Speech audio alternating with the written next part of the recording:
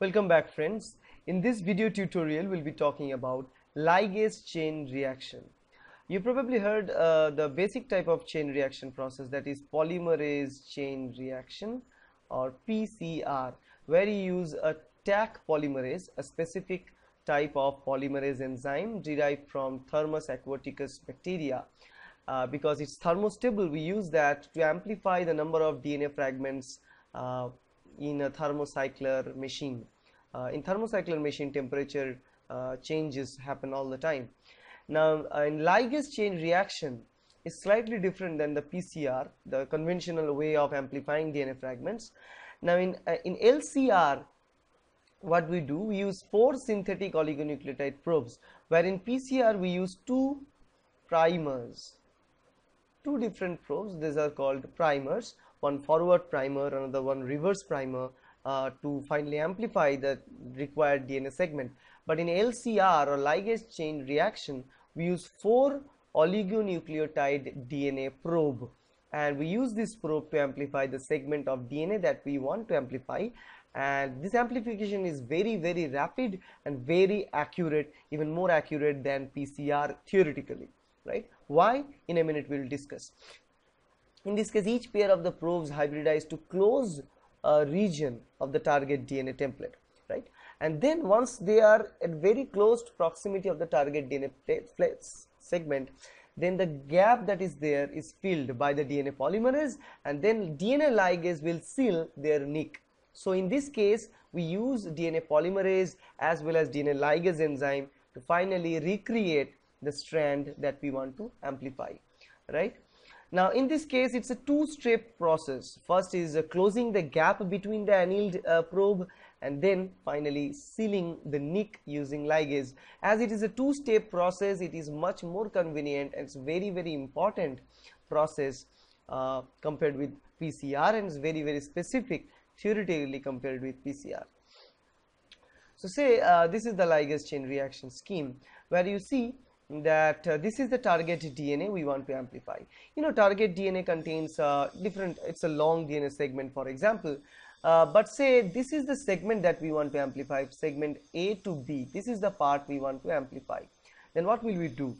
And now here we denature it uh, at the temperature of 94 degrees Celsius, it is separated, then we cool it down to 40 to 60 degrees Celsius so that the annealing uh, is possible. So we add uh, the probe, the oligonucleotide probes. Four probes are required. So probe 1, probe 2, probe 3 and probe 4 they are added and they are complementary with the strand that we want to amplify. So as they are complementary they will pair with the DNA segment. Once they are paired then you see there is a gap between each of those uh, two probes. Now those gaps are filled by thermostable uh, polymerase and thermostable ligase enzymes. Actually ligase cannot fill a gap so we need a DNA polymerase to fill the gap. DNA polymerase will fill this gap between and whenever nick is left that nick is ligated with a ligase enzyme and that ligase enzyme is also thermostable because we are doing this uh, all these processes at at least 40 to 50 degrees Celsius temperature so obviously those ligase enzyme and the DNA polymerase uh, should have the ability to survive at that high temperature. So once the ligation is done properly, see the ligation is done, then what we get? We get uh, two, uh, we get exact replica of our target DNA, right? So once we get this replica, then what will happen? Now each of the short segment, the exact DNA segment that we want to replicate, in the, in the next round, those will be the target DNA see these will be the target DNA target DNA 1 target DNA 2 uh, the other two will also be there.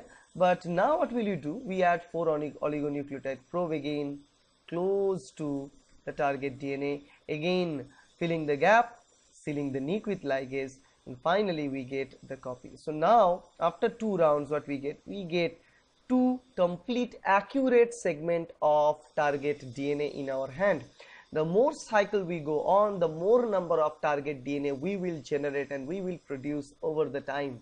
That is the beauty of ligase chain reaction. As you know this ligase chain reaction is very similar uh, with the polymerase chain reaction. In polymerase chain reaction we use only one type of polymerase that is Taq polymerase. But in ligase chain reaction we are using a polymerase enzyme a ligase enzyme and both are thermostable type of enzymes so once you produce that you know after 30 to 45 cycles we need 30 to 45 cycles in total so after this 30 to 45 cycles in total we have 10 to the power 6 to 10 to the power 11 fold amplification 10 to the power 6 to 10 to the power 11 times amplification of the uh, DNA fragments. Uh, once a lot of DNA will be produced, we can take that DNA and do a lot of stuffs like AFLP, RFLP, RFID, multiple stuffs are possible and those things are there, right? So this is about the ligase chain reaction and similar with PCR, but there are some uh, advantages of ligase chain reaction because it's much more accurate. You know in PCR uh, the primer design is difficult. It can bind with somewhere else. The amplification will not be that much specific. That is uh, in case of uh, LCR so that's the beauty of LCR I hope you understand this video. If you like this video please hit the like button share this video with your friends and definitely subscribe to my channel. Thank you